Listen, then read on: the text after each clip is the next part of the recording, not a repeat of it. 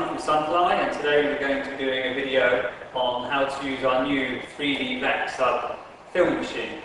Um, this new machine we've developed prints more cases than the uh, first or original machine which only printed one uh, phone case at a time and also this can do the iPad cases. Um, the advantages of this machine over the paper machines are firstly that um, there is less labour involved. With, with paper, you have to cut the paper and then wrap it, which takes time. It's a little bit more fiddly and a little bit harder to get a good printing result. With the film machine, um, you really don't need to do any of that process. This process is completely cut out, um, which saves a lot of time and also uh, defects. So we also have the image quality, which is a little bit sharper, and around the edges, which are normally folded with paper, with the film it doesn't need to be folded because the film will stretch over uh, and get pulled down over the um, actual cases when the vacuum is turned on. Here's some of the equipment you're going to need to go with uh, your new 3D VacSub machine. First of all, we have our film, which we printed here. As I said before, there's no cutting of this, it's just laid into the machine as it is. We have the actual blanks, whichever you decide to have. This machine can take all the latest models, uh, so the iPhone 5s and Samsung S3, S4. Um, you'll need jigs for each of the new models. You'll need your inks, which are different from the paper-based solution. And as the machine does get hot, make sure you have a well-insulated pair of gloves.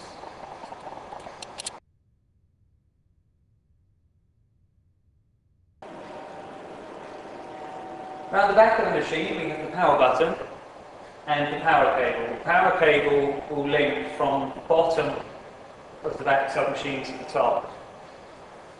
Next we have our display and the display will handle all the settings such as the temperature and the heating time.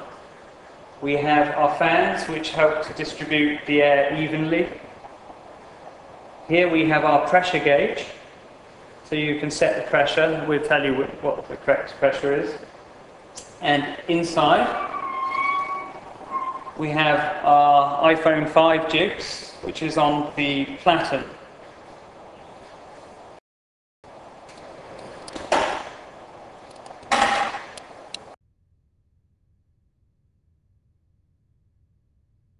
Okay, now for the settings for our touchscreen display.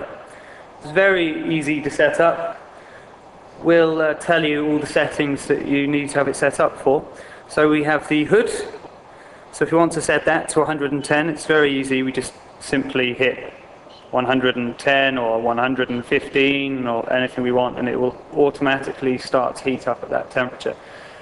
Anyway, the uh, temperature we need for this is actually uh, 110. So that's the same for the table, so that would be 115. The paint count is for how many you've actually printed off, so you can keep track during the day of how much waste you have or how many you've done for the day or whatever. And then we have the print time. So the print time is the amount of time, obviously, that each process is going to take once you close the uh, door of the sublimation machine. Also here we have the settings count and there are a few settings that you can set such as the print time and the process number. Again, all these are preset and they will be given to or added. So now we're ready to print our six iPhone cases. So we have our six jigs just firmly apply all six. So you can see it won't really take much time to get these on. And certainly, if you already have a paper machine, you'll realise that this is going to be a lot quicker. So we will open this up. These are very hot, so make sure you're wearing gloves. You can see on one side the paper, the image is stronger than the other. So this kind of matte finish should be face down on top blanks. So you can see there's two runners here.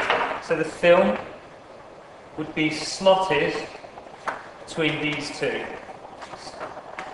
Not too difficult to do. And basically we will bring down this lock it, press start,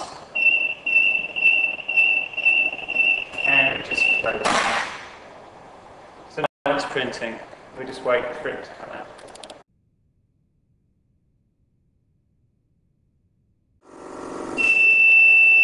Okay, the printing's finished. So we're going to remove the cases. Sometimes you get one of them stuck. It's quite easy to remove. Just pull it off. We can just remove these. So you can see it's much, much quicker than the paper. And I can reload and more cases. But here, you see a printed case. Colour's great. The edges are really good. So it really is that simple to use.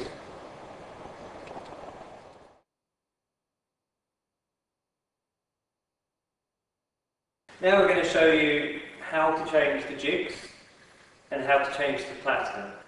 And make sure that while, when you're doing this, that you've turned off the machine by the power uh, for safety reasons. Here are some things that you might have when you're changing the platen. So you've got the platen itself, and here we're going to show you how to change the iPad mini cases over. You have an Allen screw that will come with the machine, and you can get a Phillips screwdriver. Okay, so the machine's been shut off, we've turned it off by the power. We've made sure that it's completely cool, so nothing's hot now, so it's, everything's okay to touch. Make sure you do wait for it to cool down, because it does get extremely hot. You don't need to lift uh, the cage at all, you can leave that down. So what we're going to do, first of all, this one in particular, is to remove the uh, jig. So this will slot down. You can see here, it's almost like one of the old cassettes. You just slot it in on the screws and it will slide in or out. So pull these down and you will notice that we have the screws here, the Allen screws. So we're just going to loosen these first. and uh, undo them. Doesn't really take very long.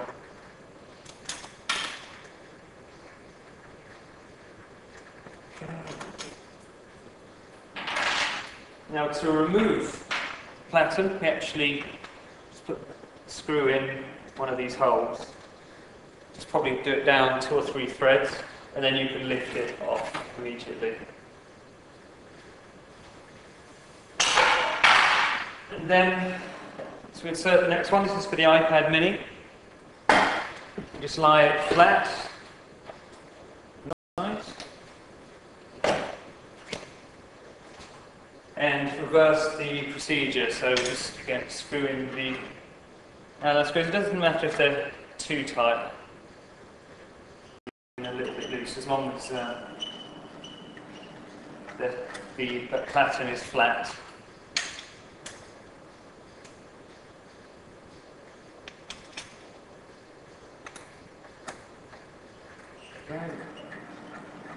Okay, so you can see the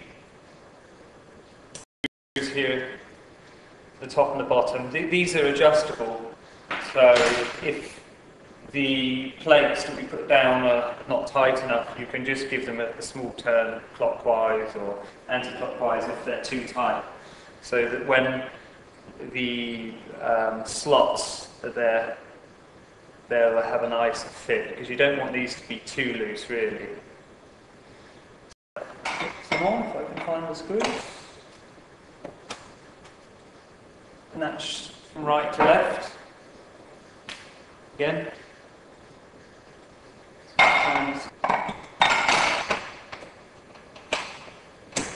Okay, so that one's on, it's fairly tight. And then we're done, we're ready to go. So we can turn back on the machine and um, set everything up.